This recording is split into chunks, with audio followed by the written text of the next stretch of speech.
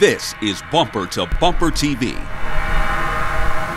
Since Prius was the first mass marketed hybrid vehicle from Toyota, it makes sense that the nameplate would eventually come up with a functional plug in version.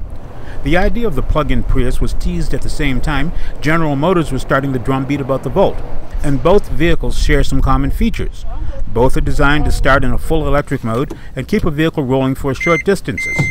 Both have a plug-in charge capability, and because it's a hybrid, the Prius claims it can be fully charged in 3 hours from a standard 120 volt outlet and less half that time if a 240 volt charger is used. It's worth noting that the Prius plug-in uses a lithium-ion battery rather than the usual nickel metal hydride platform seen in regular hybrids. Here's how it works in layman's terms. A 650 volt battery generates 80 horsepower and 153 foot-pounds of torque, which will get the car moving at low speeds.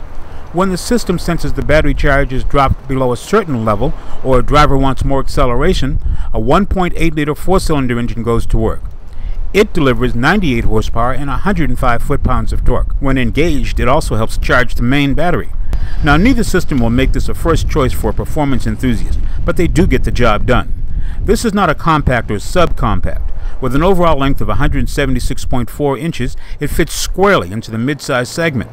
We found in routine driving it's as quiet as a traditional hybrid, with similar acceleration from a stop. At highway speed, it can shift back to full electric mode without calling attention to itself.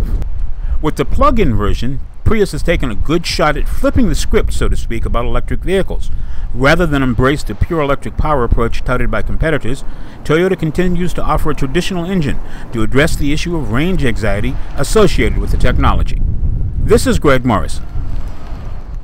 We want to know what you think, so email us. The address is bumper to bumper TV at cs.com.